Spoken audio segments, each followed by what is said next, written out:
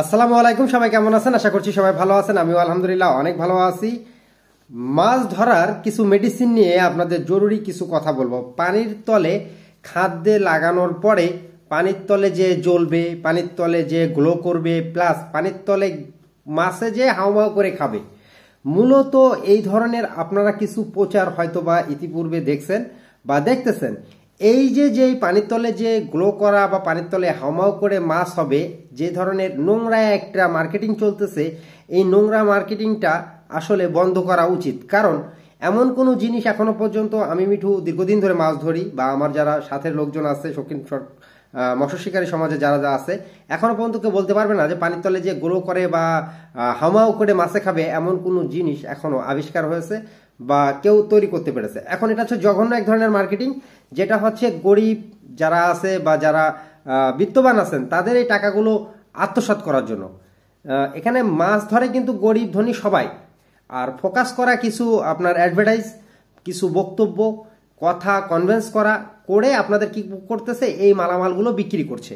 যে হাউমাউ করে মাছ হবে। এখন করোনা ভাইরাসের ওই টাইম থেকে শুরু করে নিয়ে করোনা ভাইরাসের যখন কোভিড নাইন্টিন থেকে শুরু করে নিয়ে যখন মাছ ধরার উপরে মানুষ ঝোঁকে, তখন কী দিয়ে ভালো মাছ পাওয়া যায়, কী দিয়ে ভালো মাছ ধরবো, এই ব্যাপারগুলোতে অনেক বেশি ঝুঁকে পড়ে। এখন এই জিনিসটাকেই পুঁজি করে আপনার দেখবেন কিছু মার্কেটিং হচ্ছে, খুব জঘন্য মার্কেটিং যেটা হচ্ছে হাউমাউ করে মাছে খাবে বা মাছ আপনারা ধরতে পারবেন।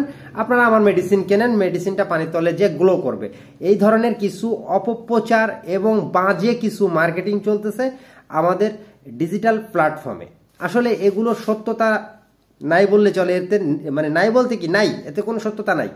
যদি হামাও করে মাছ হতো, যেই কোম্পানি বা যেই করছে মার্কেটিংগুলা এই ব্যক্তি নিজে কিন্তু কম্পিটিশনে যেত এবং যে হাজারো লোকের ভিতরে মাছ ধরতো।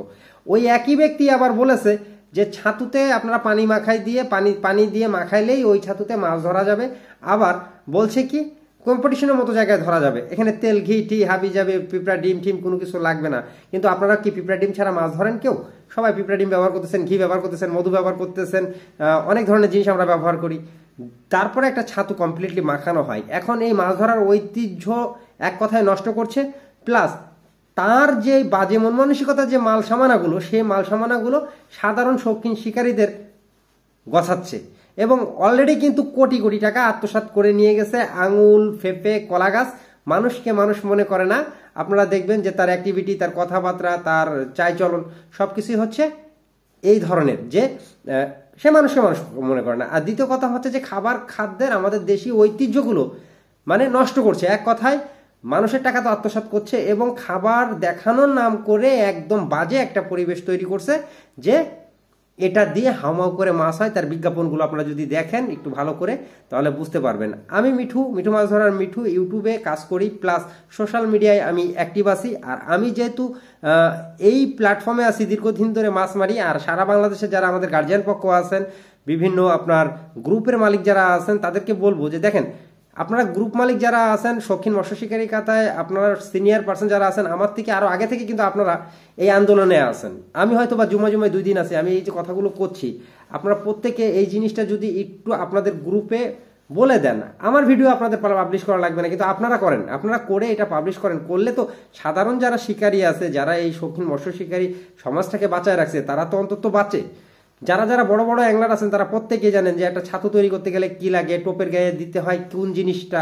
আপনারা একটু, দেখা যাচ্ছে দুধের স্বর দিচ্ছেন, একটু মুখ ল্যাপিং বানাই দিচ্ছেন। কিন্তু এমন কোনো মেডিসিন কি আপনি বলতে পারবেন যে পাইছেন?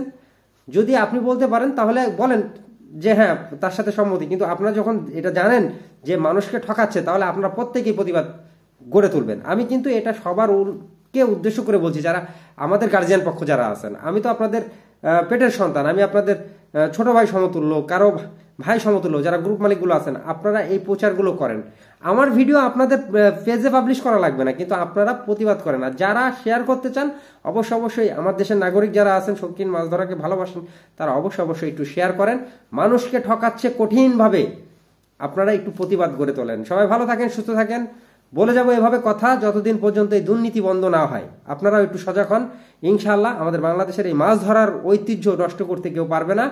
আমি আছি, যতটুকু পারি চেষ্টা করব মরার একদিন পর্যন্ত কথা বলে যাওয়ার জন্য। সবাই আমার জন্য দোয়া করবেন, আমিও আপনাদের জন্য দোয়া করি। মাছ ধরে ভাই কেউ আজ পর্যন্ত লাভবান হয় না। এটা শখের জিনিস, শখের তালিকায় রাখেন।